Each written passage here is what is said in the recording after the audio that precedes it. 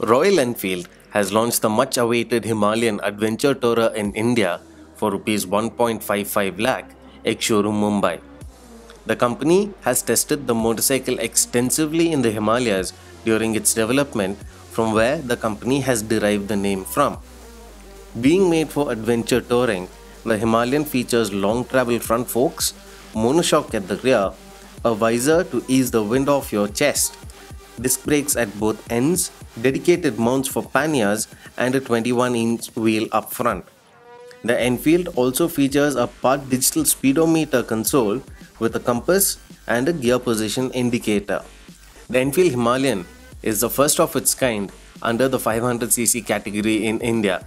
Unlike any of the previous models of the Royal Enfield, the Himalayan is powered by a new 410cc long stroke engine that produces 24.5 bhp and 32 Nm of torque.